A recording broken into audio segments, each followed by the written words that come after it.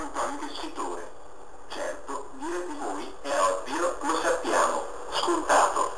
No, non lo è per niente, almeno, non per me. Non vi sto a spiegare che cosa sia la SLA, basta che mi osserviate, e già vi renderete conto cosa significa avere questa malattia. Il mio corpo è quasi completamente indifferente a qualsiasi mia volontà di movimento. Il comando c'è, l'azione no. Ma se stasera sono qui, è per che, a dispetto di un corpo ormai fermo, io ci sono, esisto. E questa, in assoluto, è la mia più grande vittoria sulla SLA. Ciò che ho messo nelle pagine del mio libro è semplicemente la testimonianza della mia storia su questa terra, il mio essere vivo. Le parole prendono significati diversi a seconda di quanto ti sono vicine. Se, dieci anni fa, qualcuno mi avesse parlato della SLA,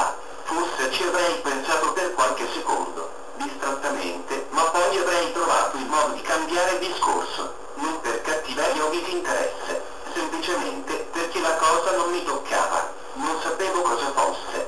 Nessuno mi aveva mai spiegato cosa significasse quella sigla, fino al giorno della diagnosi, fino a quando ha toccato me, e quando l'ho capito, quelle parole, sclerosi laterale amiotropica, si sono conficcate nella mia carne, nella mia mente,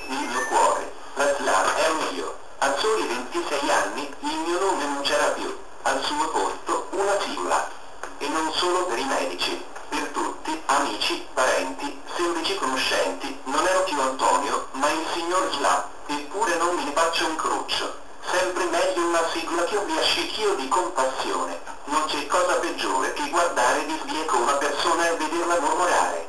Povero guaglione, io sono molto orgoglioso e, a discapito di un carattere non sempre facile da accettare per chi mi sta più vicino, questa caratteristica mi ha dato e mi sta dando una grande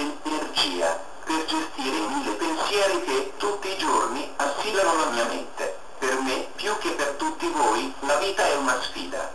Senza una sfida non potrai mai sapere quali e quante sono le energie che tieni dentro di te e le tue reali capacità. Un giorno, grazie all'incontro con persone come Pietro e Susi, che voi conoscete come il giornalista Pietro Cuccaro e la dottoressa Assunta Beatrice, decisi di mettere nero su bianco la mia storia, di mettermi a nudo e di mostrare tutte le mie emozioni, comprese le fragilità che tendo sempre a nascondere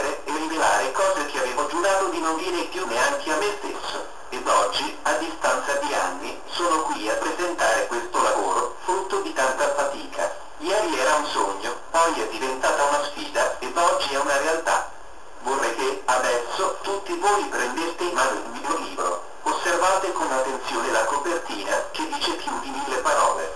Lasciatevi trasportare dall'emozione che scatena. Immedesimatevi in quell'ombra, una volta era un uomo, dietro il filo spinato. Entrate nella sua mente e osservate la proiezione del suo animo intrombabile, che, come un leone, vuole evadere dalla prigione che è in fondo il suo corpo. Dopo, solo dopo aver fatto queste riflessioni, decidete se acquistarlo o meno. A me non verrà in tasca niente. La sfida l'ho vinta, ma tutto il ricavato verrà devoluto in progetti di assistenza e di ricerca affinché si possa un giorno fermare questa malattia,